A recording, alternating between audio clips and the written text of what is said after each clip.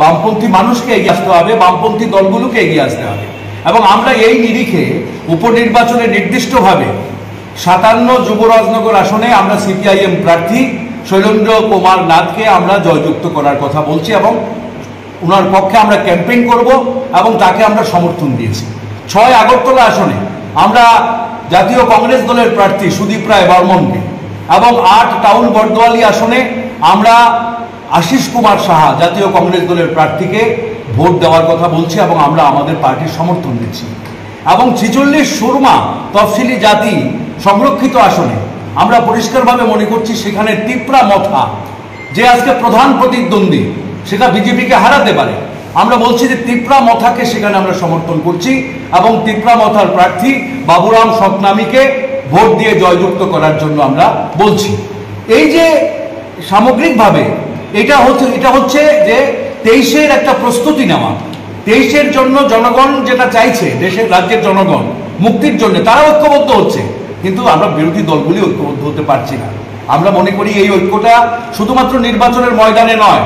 আজকে জনগণের জ্বলন্ত ইস্যুগুলোতে এই রাজ্যটাকে বাঁচানোর জন্য, এই রাজ্যে গণতন্ত্র আইনের শাসন প্রতিষ্ঠা করার জন্য, ন্যূনতম নাগরিক অধিকার প্রতিষ্ঠা করার জন্য, যেগুলো আজকে নেই এই বিজেপি জোট সরকারের শাসনে আজকে সমস্ত বিরোধীদের ঐক্যবদ্ধ হওয়া দরকার।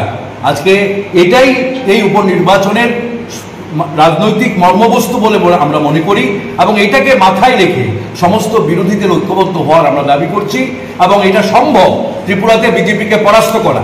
কারণ আজকে জাতীয় ক্ষেত্রে, আন্তর্জাতিক ক্ষেত্রে আজকে আমার রাজ্যে বিজেপি কিন্তু কোণঠাসা। বিজেপি দুর্বল হয়ে পড়ছে, বিজেপি ভাঙছে। পাঁচ রাজ্যের বিধানসভা নির্বাচনে বিজেপি কোনো রকমে ক্ষমতা দখল করেছে চার রাজ্যে। এখন যে কয়টা উপনির্বাচন হবে, দেশে অনেকগুলি উপনির্বাচন হচ্ছে, বিহারেও হচ্ছে, ঝাড়খণ্ডে হচ্ছে, আমরা মনে করি যে এই উপনির্বাচনগুলিতে মানুষ প্রস্তুত হয়েছে বিজেপিকে পরাস্ত করার জন্য।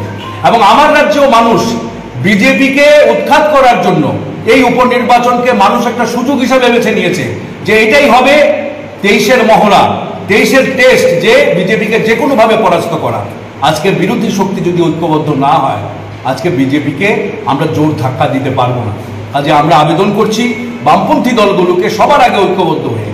আজকে বিজেপিকে জোর ধাক্কা দেওয়ার জন্য এবং এই রাজ্য থেকে উৎখাত করার জন্য এই উপনির্বাচনে যে কেন্দ্রে যে বিরোধী, যে সবার আগে বিজেপিকে ধাক্কা দিতে পারে, সেই শক্তিকে সাপোর্ট দেওয়া দরকার, সেই শক্তিকে ভোট দেওয়া বামপন্থী মানুষকে এগিয়ে আসতে হবে, বামপন্থী দলগুলোকে এগিয়ে আসতে হবে।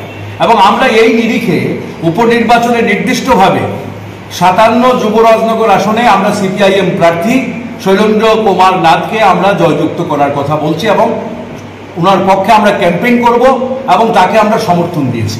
ছয় আগরতলা আসনে আমরা জাতীয় কংগ্রেস দলের প্রার্থী সুদীপ রায় বর্মনকে এবং আট টাউন বর্দোয়ালি আসনে আমরা আশিস কুমার সাহা জাতীয় কংগ্রেস দলের প্রার্থীকে ভোট দেওয়ার কথা বলছি এবং আমরা আমাদের পার্টির সমর্থন দিচ্ছি।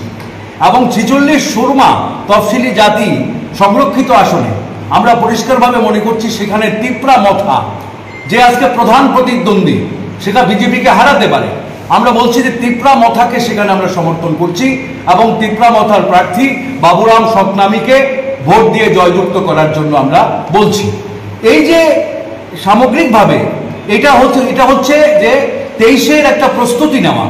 তেইশের জন্য জনগণ যেটা চাইছে, দেশের রাজ্যের জনগণ, মুক্তির জন্য, তারা ঐক্যবদ্ধ হচ্ছে। কিন্তু আমরা বিরোধী দলগুলি ঐক্যবদ্ধ হতে পারছি না। আমরা মনে করি এই ঐক্যটা শুধুমাত্র নির্বাচনের ময়দানে নয়।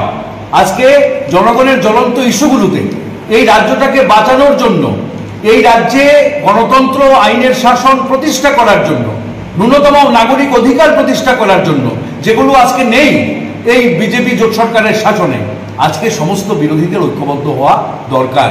আজকে এটাই এই উপনির্বাচনের রাজনৈতিক মর্মবস্তু বলে আমরা মনে করি এবং এটাকে মাথায় রেখে সমস্ত বিরোধীদের ঐক্যবদ্ধ হওয়ার আমরা দাবি করছি এবং এটা সম্ভব ত্রিপুরাতে বিজেপিকে পরাস্ত করা। কারণ আজকে জাতীয় ক্ষেত্রে, আন্তর্জাতিক ক্ষেত্রে, আজকে আমার রাজ্যে বিজেপি কিন্তু কোণঠাসা। বিজেপি দুর্বল হয়ে পড়ছে, বিজেপি ভাঙছে।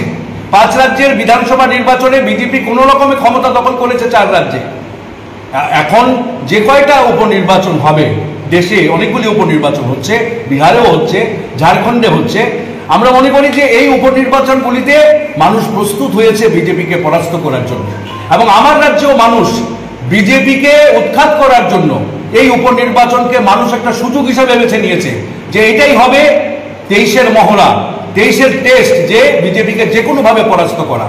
আজকে বিরোধী শক্তি যদি ঐক্যবদ্ধ না হয়, আজকে বিজেপিকে আমরা জোর ধাক্কা দিতে পারব না। কাজে আমরা আবেদন করছি, বামপন্থী দলগুলোকে সবার আগে ঐক্যবদ্ধ হয়ে।